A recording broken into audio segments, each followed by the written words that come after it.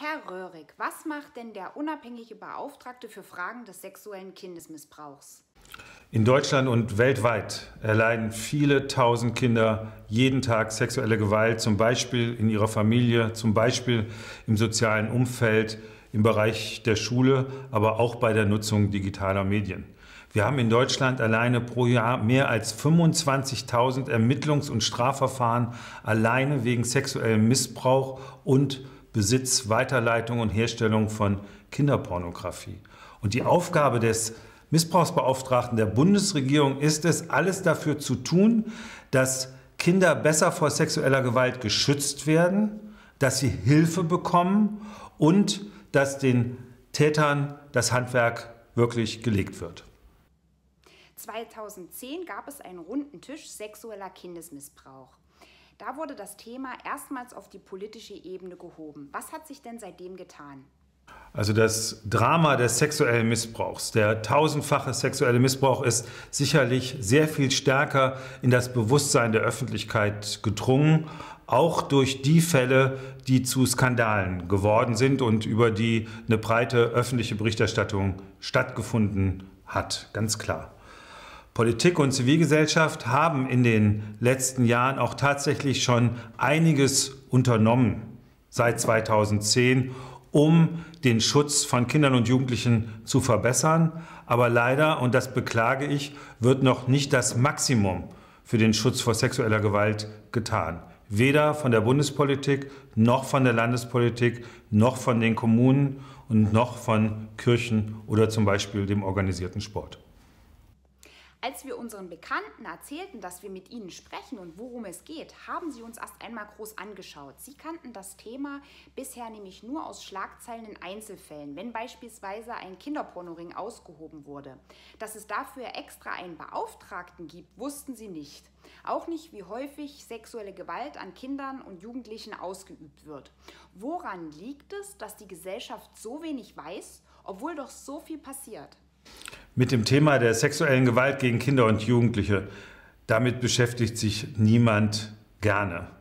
Und bei vielen ist es so, wenn sie davon hören oder lesen, gehen ganz schnell die Jalousien runter und sie möchten einfach damit nicht befasst sein und die Verdrängung setzt dann ganz schnell ein. Es ist eine verrückte Situation, eigentlich paradox. Niemand möchte, dass Kinder sexuelle Gewalt erleiden, aber die Mehrheit möchte sich mit dem Thema eigentlich gar nicht so gerne beschäftigen. Das ist ein ganz großes äh, Problem. Und ein großes weiteres Problem ist, dass zum Beispiel in der Lehrerausbildung das Thema sexuelle Gewalt, wie man Kinder schützen kann, welche Folgen sexuelle Gewalt hat, dass das gar nicht in der Ausbildung vorgesehen ist. Und das wäre wichtig, dass in Studiengängen wie zum Beispiel Medizin, Jura oder soziale Arbeit oder auch für Lehrerinnen und Lehrer, dass das Thema dort in der Ausbildung verankert wird so dass jedenfalls die Fachkräfte, die mit Kindern und Jugendlichen zusammenarbeiten, dass die ein gutes Basiswissen zu dem umfassenden Themenfeld haben. An unseren Schulen gibt es beispielsweise Umweltprojekttage, Antisemitismustage oder Theaterprojekte gegen Mobbing. Alles wichtige Themen. Jetzt sagen Sie aber, dass es in Schulen ein bis zwei Kinder pro Klasse gibt, die von sexueller Gewalt äh, betroffen sind. Warum reagieren denn unsere Schulen nicht darauf? Also zunächst, die Zahlen, die Sie eben genannt haben, sind richtig und natürlich erschreckend zugleich. Und äh, ich muss sagen, Schule hat einen Kinderschutzauftrag, aber viele, viele Schulen machen einen großen Bogen um das Thema sexuelle Übergriffe und sexuelle Gewalt. Und weil das so ist, habe ich im Jahr 2016 die Initiative Schule gegen sexuelle Gewalt ins Leben gerufen und mit 16 Kultusministerinnen und Kultusministern eine Kooperation begründet, sodass alle Schulen Schutzkonzepte einführen, sodass Mädchen und Jungen, die beispielsweise sexuelle Übergriffe erlitten haben, dass die in ihrer Schule vertrauensvolle Ansprechpersonen finden, dass ein Beschwerdesystem eingeführt wird oder dass Lehrerinnen und Lehrer auch ein Basiswissen äh, zu sexueller Gewalt haben. Da bin ich sehr froh, dass wir das hinbekommen haben. Und äh, da ich aber leider noch nicht erreicht habe, dass wirklich alle Schulen jetzt schon Schutzkonzepte anwenden, fordere ich von allen Ländern, dass sie ihre Schulgesetze dahingehend ändern, dass alle Schulen gesetzlich verpflichtet sind, Schutzkonzepte in ihren Schulen zu entwickeln und zur Anwendung zu bringen. Lehrkräfte, PädagogInnen und medizinisches Fachpersonal treten täglich in ihrem Arbeitsalltag in Kontakt mit Kindern. Sie spielen daher eine wichtige Rolle bei der Prävention und Aufdeckung von sexueller Gewalt. Wie werden Sie aber auf diese Themenfelder vorbereitet? Leider wird äh, in der Ausbildung oder auch im Studium zu wenig Fachwissen zu sexueller Gewalt vermittelt. Es müsste viel stärker in den Ausbildungskurricula verankert werden. Und deswegen ist es so wichtig, dass wir jetzt erstmal auf Fortbildung und Weiterbildung stärker setzen. Jede Fachkraft, die mit Mädchen und Jungen arbeitet, sollte ein Basiswissen haben. Und ich bin ganz glücklich darüber, dass wir mit allen 16 Kultusbehörden uns entschlossen haben, ein Basisfortbildungsmodul äh, jetzt zur Verfügung zu stellen für den schulischen Bereich, sodass alle Lehrerinnen und Lehrer über ein Serious Game ein gutes Basiswissen zu sexueller Gewalt bekommen können.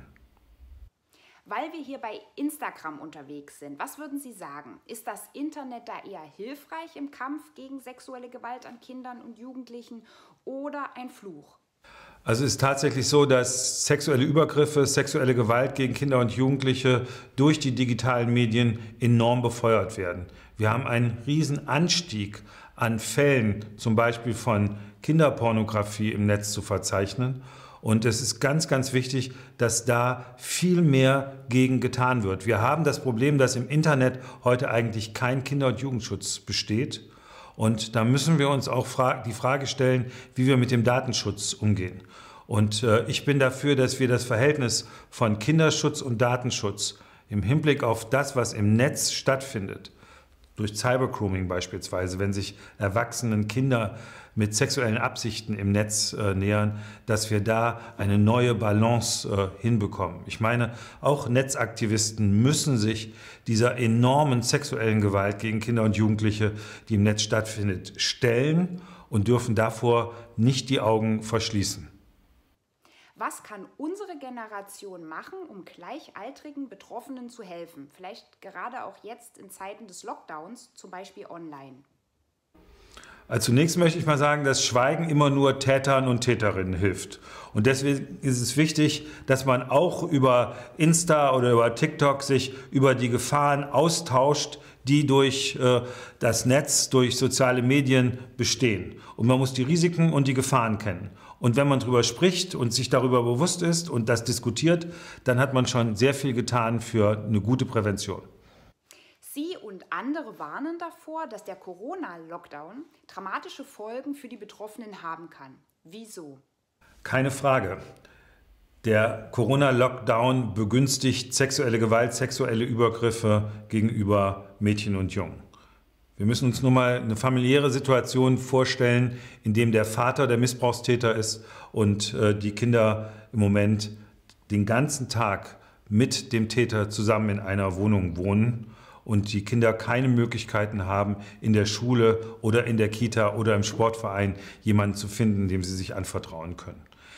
Dazu kommt, die Jugendämter, also die, die für das Kindeswohl kämpfen, die haben fast den Kontakt im Moment zu den Familien verloren durch den Lockdown und dadurch ist die Hilfe, fällt die auch weg.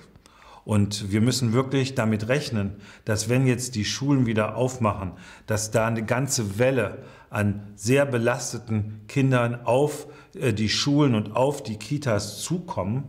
Und es ist wichtig, dass sich diese Bildungsinstitutionen auch wirklich jetzt darauf einstellen, dass sie dann in der Lage sind, Mädchen und Jungen zu helfen. Sie möchten am Ende des Jahres nach neun Jahren aufhören. Und was hat nicht geklappt? Ich habe leider nicht erreicht, dass Politik insgesamt dem Kampf gegen sexuellen Missbrauch höchste Priorität beimisst. Und ich habe leider auch nicht erreicht, dass die Fallzahlen, dass die spürbar zurückgehen. Und ich habe leider auch nicht erreicht, dass alle Fälle angezeigt werden und alle Täter tatsächlich auch verfolgt werden. Politik und Gesellschaft müssen den Kampf gegen sexuelle Gewalt als nationale Aufgabe tatsächlich für sich erkennen. Und das ist noch nicht erreicht bis heute. Und das ist die Aufgabe für die kommenden Jahre.